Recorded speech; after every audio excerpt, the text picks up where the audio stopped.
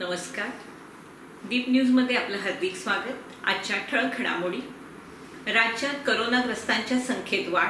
काल दिवसभरात पाच हजार एकशे चौतीस नव्या रुग्णांची नोंद तर जिल्ह्यात आणखी बत्तीस जणांचे अहवाल पॉझिटिव्ह. राज्यात उद्यापासून सकाळी नऊ ते सायंकाळी सात पर्यंत दुकानं खुली ठेवण्यास परवानगी. दापोली मुख्याधिकारी महादेव रोडगे यांची बदली. पुष्कर कंपनीचा मालक आणि व्यवस्थापकांविरोधात गुन्हा दाखल. लॉकडाऊनमध्ये परप्रांतीय कामगारांना कंपनीत आणणं भोवलं. आणि करोनापासून बचाव कसा करावा? डॉक्टर उपेंद्र तलाठी यांचा व्हिडिओ व्हायरल. सविस्तर वृत्त महाराष्ट्रात करोनाग्रस्तांच्या संख्येत दिवसागणिक वाढ होत असून काल पाच हजार एकशे चौतीस नव्या करोना रुग्णांची नोंद झाली त्यामुळे राज्यातील एकूण करोना बाधितांची संख्या दोन लाख सतरा हजार एकशे एकवीस इतकी झाली आहे. काल एका दिवसात दोनशे चोवीस करोना रुग्णांचा मृत्यू झाला असून आतापर्यंत राज्यात करोनामुळे मृत्यू पावलेल्यांची संख्या नऊ हजार दोनशे पन्नास इतकी झाली राज्याच्या सध्याचा मृत्यू दर चार पूर्णांक सव्वीस टक्के इतका आहे. एकीकडे करोना रुग्णांमध्ये सातत्यानं वाढ होत असताना दुसरीकडे करोना रुग्ण बरे होण्याची दिलासादायक बाब समोर येते. काल राज्यात तीन हजार दोनशे शहाण्णव जण करोनातून बरे झाले असून त्यांना घरी सोडण्यात आलं. राज्यात आतापर्यंत एकूण एक लाख अठरा हजार पाचशे अठ्ठ्याऐंशी रुग्ण करोनामुक्त झाले. काल सायंकाळी प्राप्त झालेल्या अहवालानुसार जिल्ह्यातील करोना रुग्णांमध्ये आणखी बत्तीस जणांची भर पडली. त्यामुळे जिल्ह्यातील एकूण करोना पॉझिटिव्ह रुग्णांची संख्या आठशे तेरा झाली. आहे काल सायंकाळी आढळून आलेल्या रुग्णांमध्ये रत्नागिरी आठ लांजा चार राजापूर पाच मंडणगड चार दापोली पाच खेड पाच आणि संगमेश्वर येथील एकाचा समावेश आहे. खेडमध्ये सापडलेल्या रुग्णांमध्ये खोपी येथील एक तर घरडा कॉलनीतील चार जणांचा समावेश आहे. आतापर्यंत पाचशे बावीस रुग्ण करोनावर मात करून घरी परतले असल्याने सध्या जिल्ह्यात एकूण दोनशे त्रेसष्ट ऍक्टिव्ह रुग्ण आहेत. अठ्ठावीस जणांचा मृत्यू झाला रत्नागिरी येथील करोना रुग्णालयात करोनावर मात केलेल्या दोन नवजात बालकांसह दोन मातांना पुष्पवृष्टी करून रुग्णालयातून निरोप देण्यात आला. यावेळी रुग्णालयाचे ज्येष्ठ बालरोग तज्ज्ञ डॉक्टर दिलीप मोरे आणि त्यांचे सहकारी उपस्थित होते. या रुग्णालयातून गेल्या तीन महिन्यात बत्तीस बालकांनी करोनावर मात केली. त्यामुळे रत्नागिरी करोनामुळे बालमृत्यूचा दर शून्य टक्के आहे. दुकानावर होणारी गर्दी नियंत्रित करण्यासाठी राज्यातील दुकानं खुली ठेवण्यासाठी आता दोन तासांचा अवधी वाढवून देण्यात आलाय.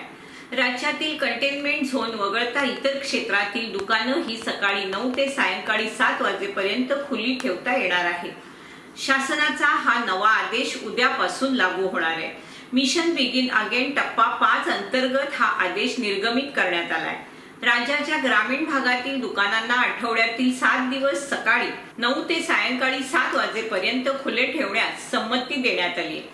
सामाजिक अंतराचं पालन न केल्याचं आढळल्या किंवा गर्दी होत असल्याचं लक्षात आल्यास संबंधित दुकान बंद करण्याचे अधिकार स्थानिक प्रशासनाला देण्यात आले. दापोली नगरपंचायतीचे मुख्याधिकारी महादेव रोडगे यांची अचानक बदली झाली कालच त्यांना कार्यमुक्त करून वसई विरार महानगरपालिकेच्या सहाय्यक आयुक्त पदाय हजर होण्याचे आदेश देण्यात आले.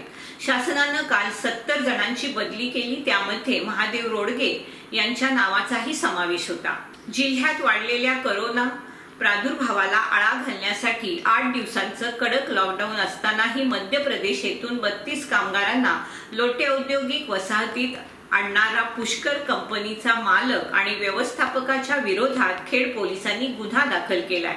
तीन जुलै रोजी मध्य प्रदेश येथील कामगारांना घेऊन एक आराम बस लोटे औद्योगिक वसाहतीत दाखल झाली. लॉकडाऊन दरम्यान परप्रांतीय कामगार जिल्ह्यात येणं ही बाब गंभीर असल्याने लोटे परिसरातील नागरिकांनी तसेच तालुक्यातील काही सामाजिक कार्यकर्त्यांनी कंपनी व्यवस्थापनाच्या विरोधात गुन्हा दाखल करण्याची मागणी केली होती. त्यानुसार आज खेड पोलिसांनी कंपनीचा मालक दिनेश मकाडिया व्यवस्थापक भास्कर आमरे आणि अन्य काही जणांच्या विरोधात गुन्हा दाखल केला.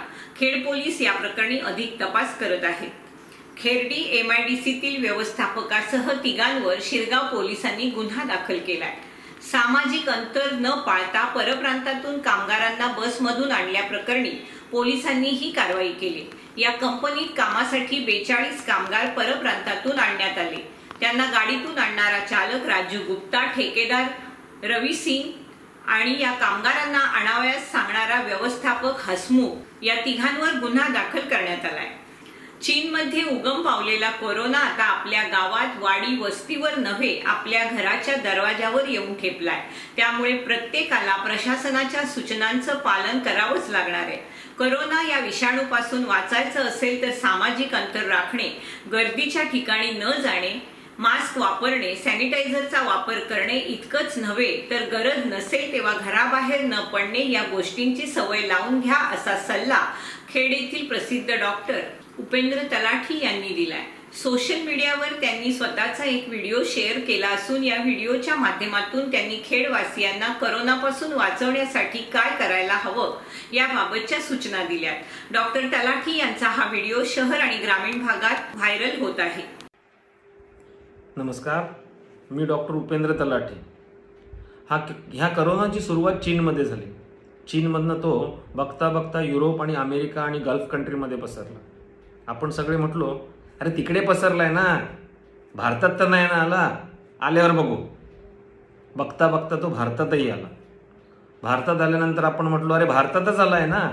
महाराष्ट्रात थोडी आलाय. महाराष्ट्रात आल्यावर बघू. बघता बघता तो महाराष्ट्रात आला. महाराष्ट्रातल्या मेट्रो सिटीमध्ये आला. मुंबई पुणे औरंगाबाद नागपूर अशा ठिकाणी सुरुवात झाली. आपण सगळे म्हटलो अरे मोठ्या शहरात ना आहे ना. खेडोपाडी थोडी येणार आहे आपल्यासारख्या छोट्या शहरांमध्ये थोडी येणार आहे. येईल तेव्हा बघू. बघता बघता तो आपल्या छोट्या शहरांमध्ये आला.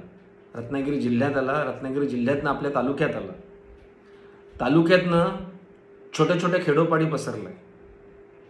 खेडोपाड्यातनं आणि आपल्या शहरात पण पसरलाय. बघता बघता तो आपली आळी आपली पेठ आपला मोहल्ला आपली वाडी आपली वस्ती इथपर्यंत पसरलाय. अरे आता तू काय घरात पसरायची वाट बघणार आहे का? आणि घरात जर आला तर असं म्हणणार आहे का? अरे मला झाला मा माझ्या बायका पोरांना झालाय मला तर नाही ना झालाय? कृपा करून आता तरी सुधरा. आता तरी काळजी घ्यायला शिका. या करोनाची चेन ब्रेक करण्यासाठी आपल्या जिल्हा प्रशासनाने आठ तारखेपर्यंत ब्रेक द चेन या अभियानांत अंतर्गत लॉकडाऊन ठेवलेलं आहे. नऊ तारखेपासून सगळं पूर्ववत सुरू होईल. कृपा करून नऊ तारखेला भाऊ गर्दी करू नका बाजारामध्ये. तुंबड गर्दी उसळते लॉकडाऊन संपल्यानंतर आणि त्या लॉकडाऊनचा उपयोगच काही राहत नाही. आवश्यक असेल तरच घराच्या बाहेर पडा. किराणा भाजीपाला हे आपल्या घरामध्ये बऱ्यापैकी स्टॉक करून ठेवलेलं आहे. अननेसेसरी भीतीपोटी घरात घरातून बाहेर पडायचं आणि सगळा स्टॉक पुन्हा करायचा आणि गर्दी करायची तर त्या लॉकडाऊनचा उपयोग काही नाही.